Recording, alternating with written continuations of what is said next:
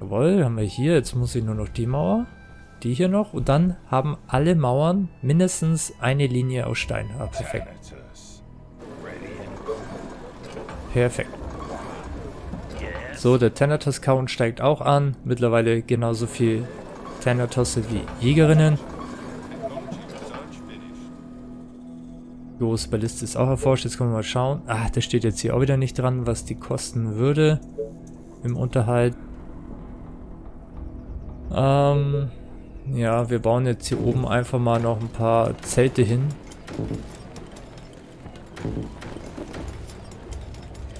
Dass wir einfach unseren Count noch nach oben kriegen und natürlich auch unser Einkommen nach oben treiben.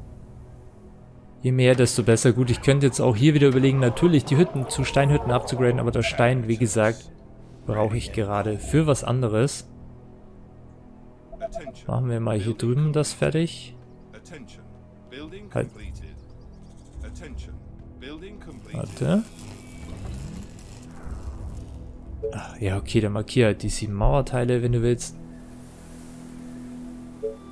Da noch die zwölf. Ach, was soll's. Mach's einfach. Und jetzt hier, warte mal. Kann es sein? Ja, hier, da muss ich, glaube ich, auch nochmal was ändern.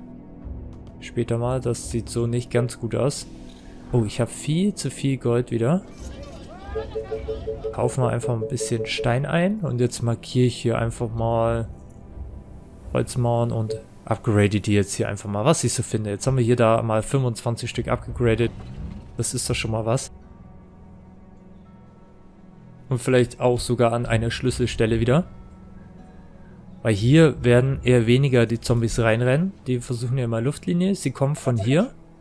Also rennen sie eigentlich eher hier oben hin. Hier unten, das wäre quasi nur so eine Art Ablenkung, die wir schaffen. Durch die Geräusche würden wir die Zombies, die eigentlich da hoch wollen, ein bisschen zumindest nach hier unten locken.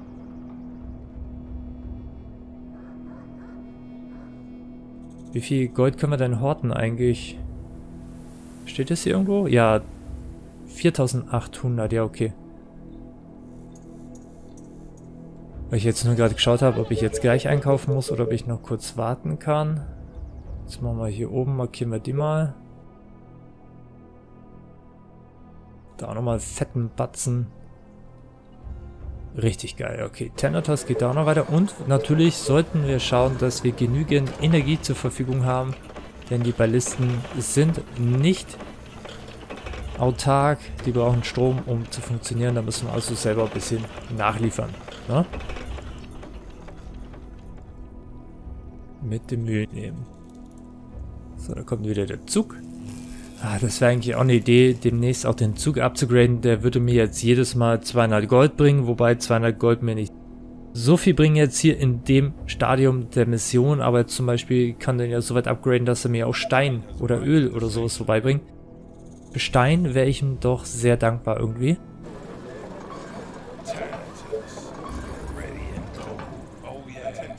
Oh yeah. Wir können mal schauen. 1, 2, 3, 4, 5, 6, 7, 8, 9, 10, 11. Ja, die kann ich schon gut verteilen. An jeder Stelle ein Thanatos. Das ist vielleicht sogar ein bisschen zu wenig. Ich würde sogar echt überlegen, dass wir das hier noch mit in Betrieb nehmen. Müssen wir nur ausreichend schützen dann. Apropos, da fehlt doch ein Stück Mauer. Ja, und dann, dass wir auch versuchen, vielleicht mehr als nur elf Thanatos herzustellen.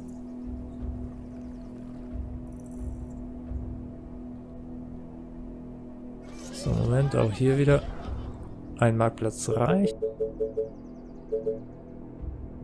Oh ja, hier, stimmt. Das hätte ich jetzt fast vergessen. Da muss ich auch noch upgraden.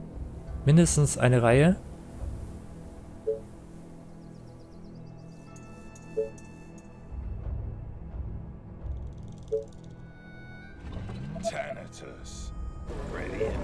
Perfekt. Könnten sogar überlegen... Ah ne, der Lucifer, der braucht auch nochmal Öl, sonst hätte ich jetzt gesagt, wir könnten sogar überlegen, ob wir nicht einfach noch Lucifer mitnehmen. Den könnten wir dann quasi dahin stellen, wo sie durchgebrochen sind und dann verbrennt er die einfach. Wenn die da durch die Mauer durchkommen, werden sie einfach gleich mit Feuer empfangen. Das wäre eigentlich auch die Idee gewesen, aber... Ja, müssen wir schauen. Bin mir jetzt noch nicht sicher. Ah, das war wieder doof. Hier mache ich mir halt wirklich Sorgen. Wenn sie da durchkommen, das wird sehr gefährlich. Also wir sollten auf jeden Fall schauen, dass die Mauer komplett aus Stein ist. Vielleicht sogar, dass wir nochmal gucken, dass wir hier nochmal eine dritte Mauer davor bauen oder so. Ganz schwierig alles. Ganz, ganz schwierig.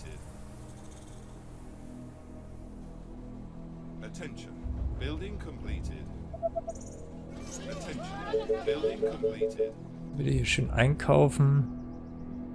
Ja, wie gesagt, hier, das sollten wir, glaube ich, ganz dringend upgraden. Das ist ganz wichtig. Hier oben auch, weil da sind wir, wie gesagt, auch sehr, sehr schnell eigentlich an den Kolonisten dran.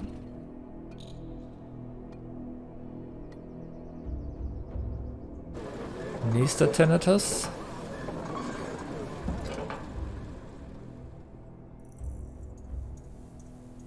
Und dann, ja, theoretisch in sieben Tagen, dass wir auch anfangen, hier die ganzen Ballisten zu positionieren. Ich glaube, das wird wichtig.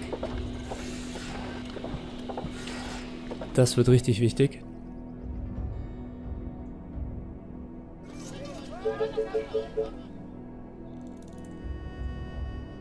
Na, das bisschen Holz da bräuchte ich noch.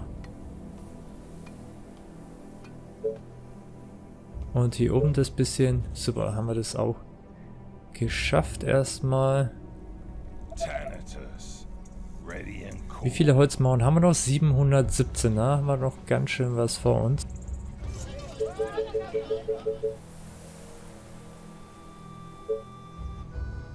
Ja, hier drüben werden wir die Mauer komplett zu haben. Wir können ja auch schauen, dass da, wo wirklich alles komplett aus Stein ist, da können wir vielleicht auf den einen oder anderen Thanatos verzichten, dass wir das vielleicht einfach nur die Ballisten machen lassen. Wäre auch eine Option.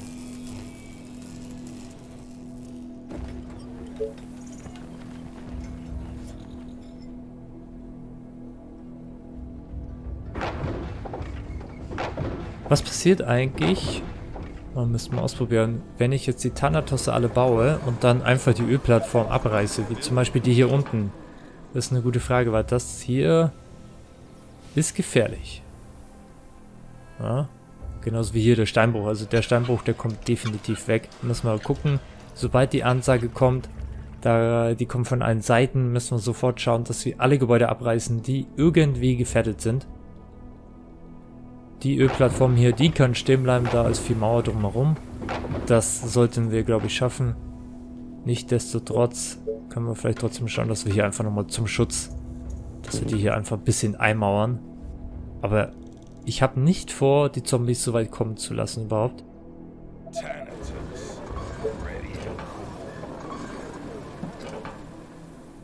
So, das ist jetzt dann der elfte Thanatos. Dann hätten wir das auch schon wieder geschafft. Wahnsinn. Krass. Das ging jetzt echt flott. Aber jetzt konzentrieren wir uns erstmal wieder so ein bisschen auf unsere Mauern, glaube ich, bis wir, bevor wir mit den Tenatussen weitermachen. Weil ich meine, die Ölplattform, ja, kostet auch 20 Steine. 20 Steine, die ich gerade ein bisschen sinnvoller investieren kann.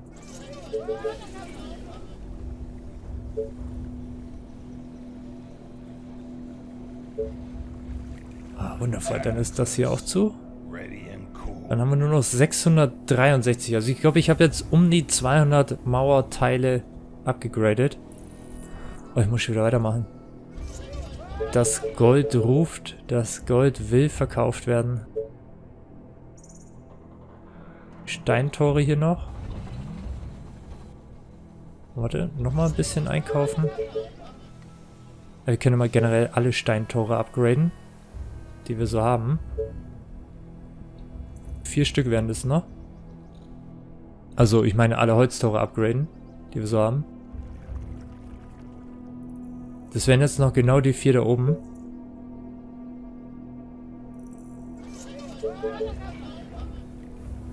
Das ist natürlich ein Einfallstor.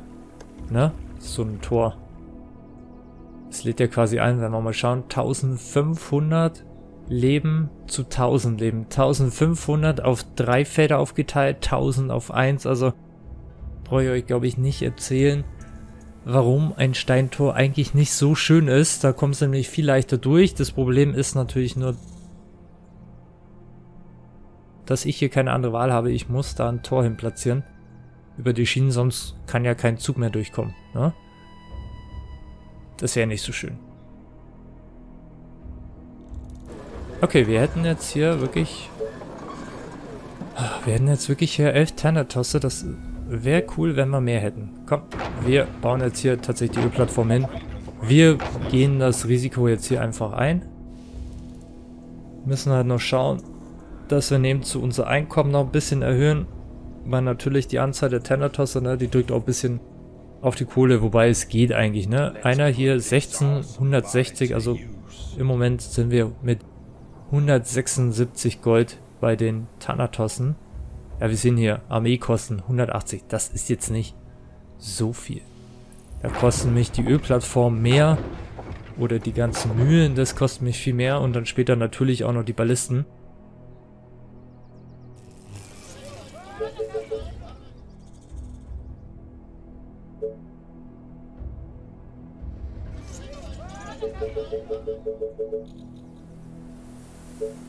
Ah, okay, hier nochmal fett aufgerüstet, perfekt. Wie gesagt, hier wird es aber, glaube ich, nicht so wichtig werden, aber ich mache es jetzt trotzdem einfach mal. Ich versuche jetzt hier wirklich die Mauerteile alle so ein bisschen fertig zu kriegen. Das schaut gut aus, das haben wir fertig, das hier haben wir fertig. Das hier ist jetzt fast fertig. Jetzt ist auf jeden Fall fertig. Hier drüben, das ist komplett fertig, das gefällt mir richtig gut. Das hier werden wir noch fertig machen. Das hier oben müssen wir eigentlich auch noch fertig machen, wobei das ist etwas entspannter, weil das wirklich sehr langgezogene Mauer ist. Die Zombies können sich da ein bisschen besser verteilen. Hier unten eigentlich dasselbe, das heißt, ich kann mit den Thanatossen ja, jetzt eigentlich nicht so viel Schaden anrichten, aber es ist trotzdem ein bisschen angenehmer. Der Thanatos macht hier natürlich viel mehr Schaden, weil sie alle darunter rennen, alle auf einer Stelle. Hier dasselbe, da kann er schon Schaden anrichten. Hier theoretisch auch, wenn die sich hier alle das so ein bisschen verkeilen drin.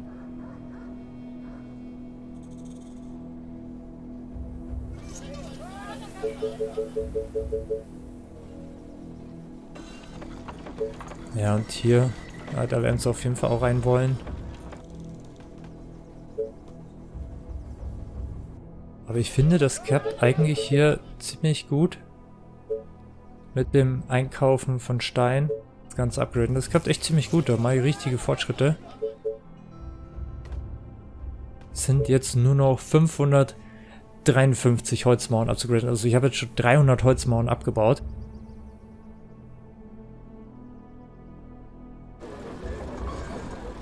Und jetzt haben wir wieder ein bisschen Öl zur Verfügung. Können wir also wieder einen Thanatos ausbilden.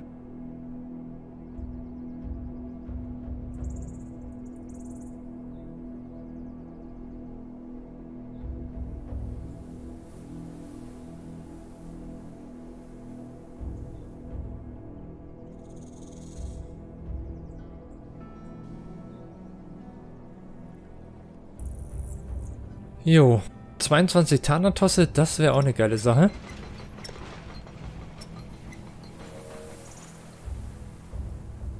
So, das hätten wir, das hätten wir. Das. Machen wir vielleicht hier weiter. Aber wobei, nee, komm, wir sollten echt schauen, dass wir... Hier glaube ich jetzt nämlich auch nicht, dass wirklich viel passiert. Die werden auch alle Erde oben reinrennen. Schauen wir mal, dass wir jetzt vielleicht das hier ein bisschen mal verbessern. Thanatos Nummer 13 wird jetzt ausgebildet. Bin nur gespannt, ob ich es dann auch noch schaffe, mit dem Kolonisten-Count dann auch noch nach oben zu ziehen. Ne? Also, dass ich da nochmal richtig Gas geben kann. Das wird auch nochmal sehr, sehr spannend eigentlich. Weil da mache ich mir jetzt eigentlich nicht so viel Sorgen tatsächlich. Das muss eigentlich klappen.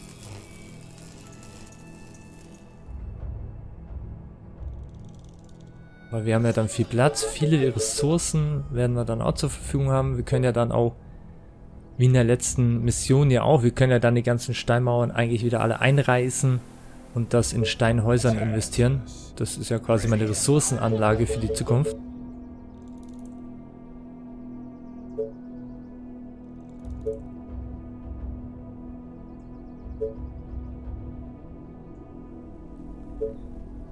Okay, dann hätten wir die Mauer hier auch fast schon wieder fertig. Das geht richtig flott. Der nächste Thanatos muss her. Vielleicht überlege ich es mir jetzt ja doch gerade mal hier mit Steinholz. Aber nee, die kosten so viel Energie, das ist echt der Wahnsinn. Jetzt sind wir bei 3 Energie, was so, ein, was so eine Hütte kostet. Wenn wir das jetzt upgraden, dann wären das 10 Energie, was wir plötzlich brauchen. Das ist wirklich viel zu viel. Das bin ich irgendwie nicht bereit zu investieren. Schon gar nicht jetzt im Moment natürlich, weil wir müssen ja uns die Energie eigentlich für die Ballisten aufheben. So, ich baue jetzt hier nochmal ein paar Zelte hin, werde das auch nochmal upgraden. Wie gesagt, wir müssen ja schauen, dass wir ein hohes Einkommen auch später haben, damit wir wirklich viele Ballisten mit einem Schlag dann nachher bauen können. Macht keinen Sinn, wenn ich jetzt hier alles in die Thanatosse verballer und das dann alles nach unten geht und erst dann anfange das aufzurüsten. Und ich meine, die Ressourcen habe ich doch eh ohne Ende. Da habe ich wirklich gar kein Problem. Bin ein bisschen überrascht tatsächlich, dass es so läuft, aber ich nehme es, wie es kommt.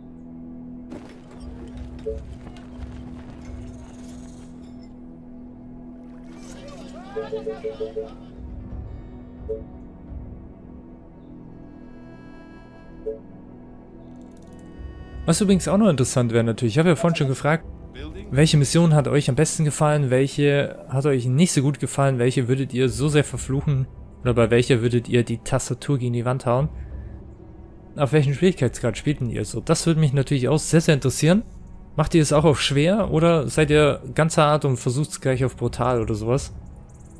Würde mich mal interessieren. Ich werde auf jeden Fall, wenn ich das hier durch habe, auf schwer, privat auf jeden Fall, also im Off auf jeden Fall nochmal den schwersten Modus ausprobieren. Und dann muss ich aber gestehen, mit Soldaten. Ich möchte es echt mal ausprobieren, wie heftig diese Soldaten wirklich sind in der Kampagne. Viele schwören ja drauf. Immer wenn gefragt wird, was ist so die wichtigste Technologie, erzählt ja irgendwie immer jeder Soldaten, erforscht alles, was für Soldaten da ist und dann ist das alles kein Problem. Das würde ich echt gerne mal ausprobieren. Ich habe es ja schon im Überlebensspiel mal ausprobiert, die Soldaten. Die sind schon sehr gut. Gebe ich zu. Aber wie gut sie wirklich sind, das muss sich noch zeigen. Für mich persönlich natürlich. Okay, hier haben wir auch alles fertig. Geil. Richtig cool. Hier müssen wir noch machen. Hier, also wir haben schon noch ein bisschen was vor uns, aber das geht hier wirklich jetzt in einem atemberaubenden Tempo voran. Genauso aber wie die Zeit.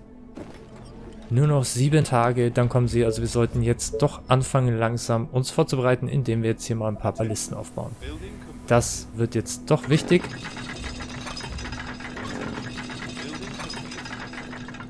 Kann man ein bisschen was vorbereiten hier.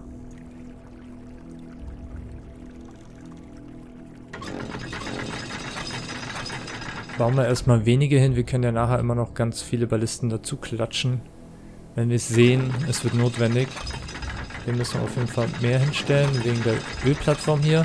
Da glaube ich jetzt auch nicht, dass da so viele reinrennen werden. Ich glaube, die meisten werden auch eher da reinrennen. Das heißt, hier werden wir auf jeden Fall nochmal was hinstellen können. Aber das genau meine ich ja.